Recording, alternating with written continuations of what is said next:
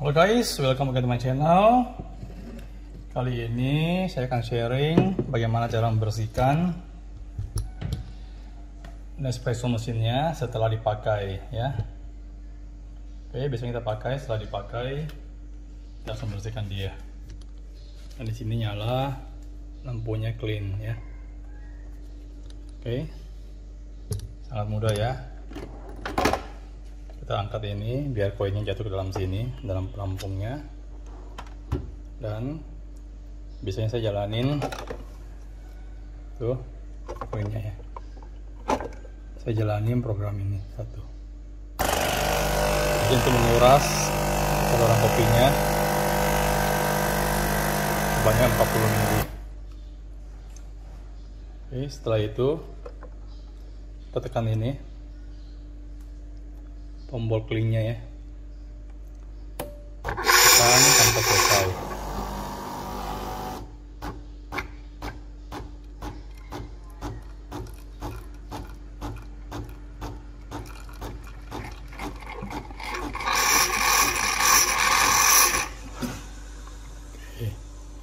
Selesai dan lampu cleannya udah mati ya. Oke sekarang kita akan bersihkan ini. Dan ini ya bocor kopinya kita lap. Di sini ada second container ya.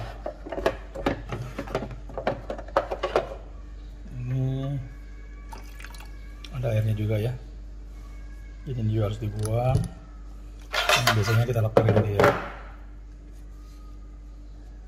biar lebih awet aja.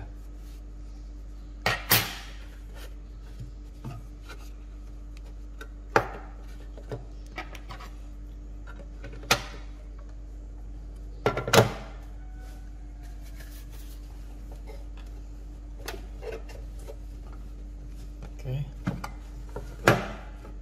Ini kembalikan. Ini kita simpan langsung ya bisa simpan langsung di kulkas karena masih susunya masih ada kita copot aja. Sini kita lap-lap dikit. Tutup aja ini. Udah selesai ya. Tinggal ini kita cuci. Ini matikan powernya. Ini kita cuci. Atau kita bilas dengan air ya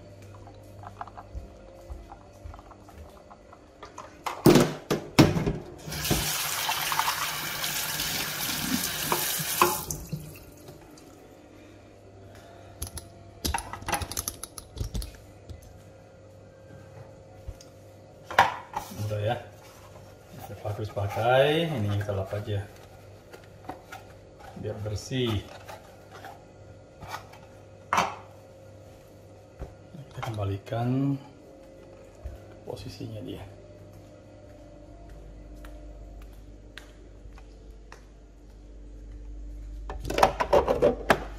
Tutup.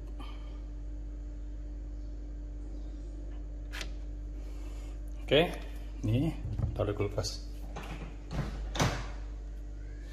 Biar kita bisa pakai pakai lagi ya.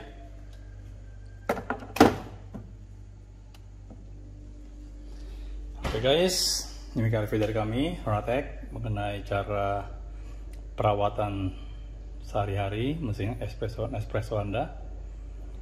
Semoga informasi bermanfaat dan berguna buat anda semuanya. Jika anda menyukai video ini please like dan komen. Jika anda ingin bertanya seputar video ini oke Sampai ketemu lagi di channel kami selanjutnya. See you next guys.